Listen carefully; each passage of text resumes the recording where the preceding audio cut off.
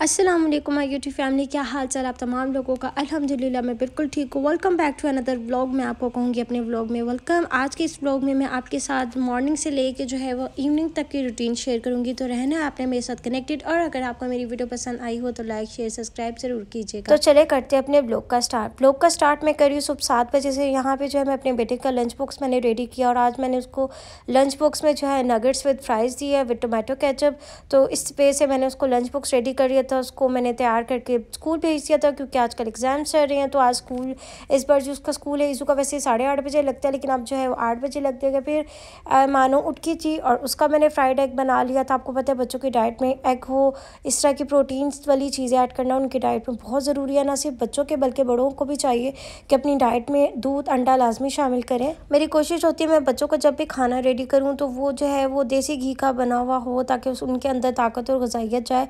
घर का बना देसी घी बहुत ज़्यादा ताकत और गजाइत देता है। आप भी कोशिश कीजिए अपने बच्चों के डाइट में देसी घी ऑलिव ऑयल वगैरह लाजमी ऐड कीजिए। तो यहाँ पे फिर ऑमलेट पराठा मैंने रेडी कर लिया था और हमने जो है वो नाश्ता कर लिया था कंप्लीट ऑमलेट पराठा की रेसिपी मैं बहुत दफ़ा अपने ब्लॉग पर आपको बता चुकी हूँ।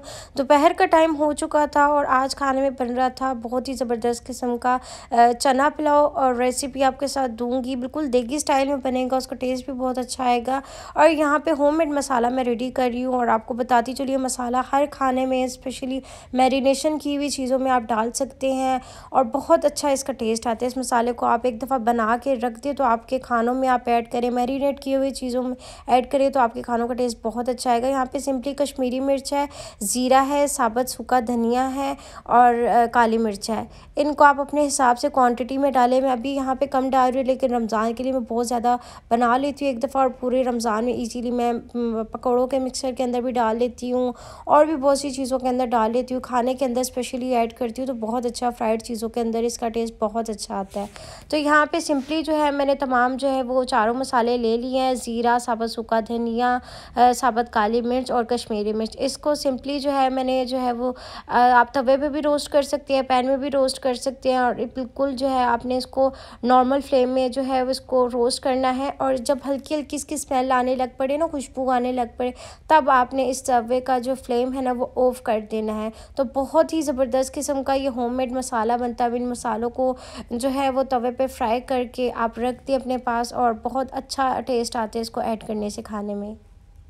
फ्यू मिनट्स के फ्राई के बाद जो आप देख सकते हैं कि हमारा जो है मसाला ऑलमोस्ट डन हो चुका है, क्योंकि यहाँ पे इस स्टेप में मुझे खुशबू आने लगी थी। जो मसालों की, जब खुशबू आए ना तो तब आपने टर्न ऑफ़ कर देना। बहुत ही क्रंची और क्रिस्पी इस टाइम पे हो जाएगा और आपने फिर इस वे में इसको जो है, वो बिल्कुल दर दरा सा आपने इसको करना। बहुत ज़्यादा चॉप नहीं करना, बहुत ज़्यादा मतलब उस तरह से ग्राइंड नहीं करना।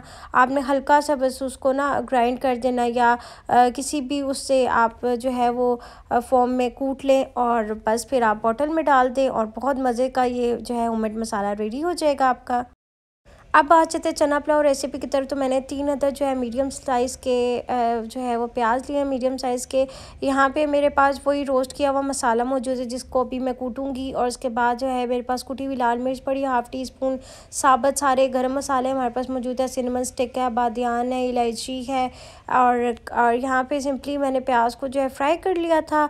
और फिर उसके ऊपर मैं सारे तमाम गर्म मसाला, ज़ीरा और काली मिर्च और सिनेमन स्टिक्स और सब सब चीज़ें, ये जितने भी गर्म मसाले में चीज़ें होती है ना, वो तमाम चीज़ें मैं ऐड कर लूँगी। यहाँ पे मोटी इलायची मैं ऐड कर रही हूँ। प्याज हमारा ब्राउन हो चुका है और इसमें तमाम हमने मसाला जात ऐड कर लिए हैं। यहाँ पे हम जो है वो साबत तमाम मसाले डालने के बाद जो है लहसुन अदरक का पेस्ट डाल दिया, उसको हमने ब्राउन किया और उसको ब्राउन करने के बाद यहाँ पे मेरे पास टू टेबल स्पून जितना जो है वो ग्रीन चिलीज़ का पेस्ट है, वो आपने अच्छे से उसको कूट लिया और इसके अंदर फ्राई करना है। तमाम चीज़ों को हमने मिक्स कर लेना है। यहाँ पर जो साबत मसाला हमने बनाया था रोस्ट किया हुआ, उसको मैंने जो है बस मोटा मोटा दरदरा सा कूट लेना है इसको और फिर इस स्टेप में आप देख सकते हैं कि हमारा ज़बरदस्त किस्म का ये मैजिकल मसाला जो है वो रेडी है। और फिर इसके अंदर मेरे पास बॉयल चने पहले से मौजूद थे और फ्रीज़ कर लिए थे।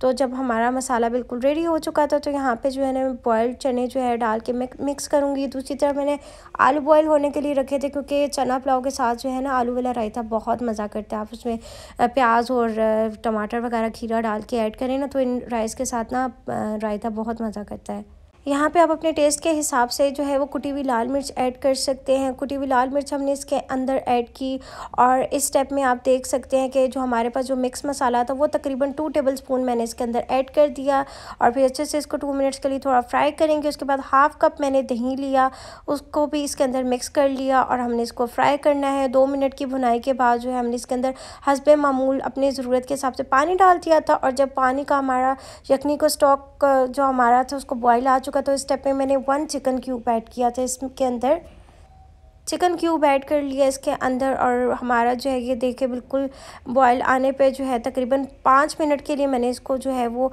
नॉर्मल फ्लेम में इसको बनाया था। और बस इस स्टेप में मैंने इसके अंदर चावल डाल लिए थे। और फिर इसको थोड़ी देर तकरीबन मैंने तीन से चार मिनट के लिए मज़ीद कुक किया था और उसको कवर कर दिया था। और फिर ये रही हमारे ज़बरदस्त किस्म के पुलाव की फ़ाइनल लुक बहुत ही मज़ेदार किस्म के बने थे। और लास्ट में मैंने थोड़ी ग्रीन चिलीज़ ऐड कर ली थी और जो है, वो लेमन स्लाइस ऐड कर लिए थे तो बहुत मज़े का ये पुलाव बना था। तो अब ये जो है खाने का काम रेडी हो चुका था। यहाँ पे स्टेप में जो है आलू बॉयल हो चुके थे। मैंने टमाटर और प्याज को काट लिया था और जो है वो रायते को दही जो था उसको बीट कर लिया था दही के अंदर। सिर्फ़ सिंपली जो है मैंने नमक ऐड किया था, काली मिर्च ऐड की थी और चाट मसाला ऐड किया था। तो इस स्टेप में मैं कटी हुई जो मेरे पास आलू और प्याज और टमाटर है इसको मिक्स कर लेंगे और यहाँ पे इस स्टेप में हमारा जो है वो ज़बरदस्त किस्म का रायता भी रेडी हो गया था। और आप भी कोशिश कीजिए स्पेशली इस तरह की चीज़ें ना फ्राइडे में बहुत मज़ा आता है। इंसान नमाज़ वगैरह पढ़ता है तो राइस वगैरह बहुत मज़ा करते हैं खाने में। तो यहाँ पे ऊपर मैंने स्प्रिंकल भी कर दिया था, चाट मसाला पे शाम का टाइम हो गया था तो यहाँ पे जो है मैं चाय रेडी कर रही थी और चाय बना रही थी। साथ में कुछ बाय के रिफ़्रेशमेंट की चीज़ें आ गई थी तो वो मैंने निकाल ली थी। अच्छा चाय भी ना बहुत डिफरेंट अंदाज से लोग पीते हैं। कुछ लोग पानी ऐड करके चाय पीते हैं। हमारे यहाँ पे ना, मेरे ससुराल में बिल्कुल प्योर दूध पत्ती पी जाती है। विदाउट एडिंग एनी वाटर मतलब पानी शामिल किए बगैर आपने दूध के अंदर ही जो है वो चीनी पत्ती डाल के उसको अच्छे से पकाना है और उसका कलर बिल्कुल जब नॉर्मल आ जाएगा तो बस आप उसको निकाल तो बस फिर यहाँ पे चीज़ें आ गई थी चाय रेडी कर ली थी तो वो मैंने निकाल के डिश आउट कर ली थी। बर्गर्स वगैरह थे समोसे वगैरह थे कुछ तो ये हमने कंप्लीट हो चुका था काम और फिर जो है मैं ईजू को पढ़ाने लगी क्योंकि आपको पता है एग्ज़ाम स्टार्ट हुए हुए हैं और माओ के ऊपर बहुत ज़्यादा स्ट्रेस लेवल है। ऐसा लगता है कि एग्ज़ाम्स हमारे स्टार्ट हुए हैं। सीरियसली मतलब इतना स्ट्रेस लेवल माओ के ऊपर होता है ना कि अपना स्कूल का टाइम याद आ कि शायद अपने स्कूल के टाइम पर भी ये होती होगी हम लोग नर्वस भी होते होंगे स्ट्रेस लेवल भी हमारा होता होगा लेकिन इस स्टेप में ना बहुत ज़्यादा मतलब माओ के ऊपर ना एक तरह से स्ट्रेस होता है। शायद सभी माओ का यही हाल होता है अल्लाह दुआ हमारे तमाम बच्चों को कामयाबी अता करे आमीन। तो यही बस आज का व्लॉग तो उम्मीद करती हूँ आपको अच्छा लगा होगा। अगर व्लॉग पसंद आया हो तो लाइक शेयर सब्सक्राइब ज़रूर कीजिएगा। अपना ख्याल रखिएगा दुआ में याद रखिएगा।